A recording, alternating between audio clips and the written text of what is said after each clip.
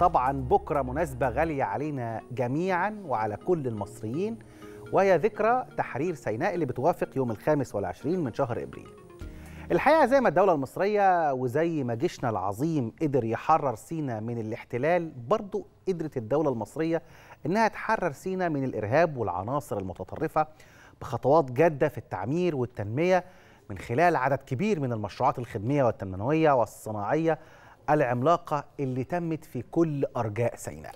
يمكن بالمناسبة دي كمان في يعني تقرير مهم جدا تم نشره من مركز معلومات مجلس الوزراء امبارح والتقرير ده بيرصد الطفرة غير المسبوقة والتنمية والتعمير اللي اتعملت على أرض سينا ومدن القناة في العشر سنين اللي فاتوا. تخيل أنه زاد إجمالي الاستثمارات العامة الموجهة لتنفيذ مشروعات في سينا ومدن القناة حوالي 10 أضعاف. يعني قيمة الاستثمارات دي السنة دي وصلت 58 مليار و800 مليون جنيه. مقارنة ب 2014 اللي حجم الاستثمارات فيها كان 5 مليار و900 مليون جنيه.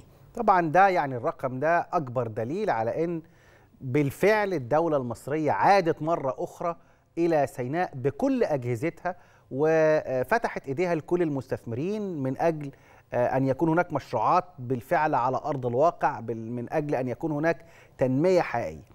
الملف ده لو اتكلمنا عنه مش هيكون بعظمة ملف الاهتمام بالمواطن السيناوي الدولة المصرية اهتمت بالمواطن السيناوي في مختلف الخدمات. قدمت له كهرباء وغاز وخدمات حكومية مميكنة. وفرت له تمويل للمشروعات المتوسطة والصغيرة والمشروعات متناهية الصغر بقيمة وصلت ل 2 مليار و400 مليون جنيه لأي شاب سيناوي كان عايز يعمل مشروع. طبعا ده بخلاف ملف التنمية العمرانية لأهالي سيناء ومدن القناة يعني دلوقتي تم إنشاء وتطوير سبع مدن جديدة من أبرزها مدينة إسماعيلية الجديدة اللي أقيمت على مساحة 2.8 ألف فدان ومدينة سلام مصر اللي أقيمت في شرق بورسعيد على مساحة بلغت 22 ألف فدان. يمكن لما نتكلم على تنمية هي دي التنمية الحقيقية يا مصطفى. بالظبط خليني. أقول لك كمان إن من أهم الاستثمار في البشر. بالظبط. كمان من أهم المشروعات اللي اتعملت في سينا هي ربطها بمحافظات الدلتا والعاصمة.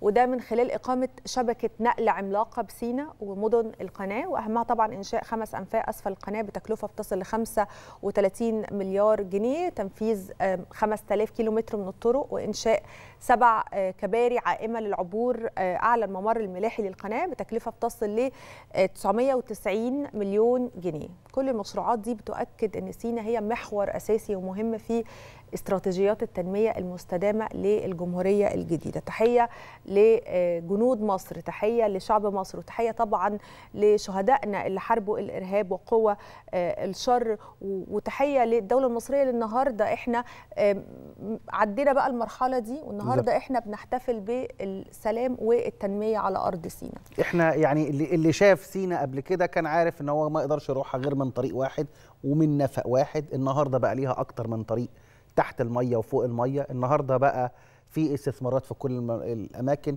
النهارده تخيلي أو لا تتخيلي إحنا بنعمل مهرجانات في سينا مهرجان الهجن ومهرجانات حقيقي. جابت مطربين ومغنيين.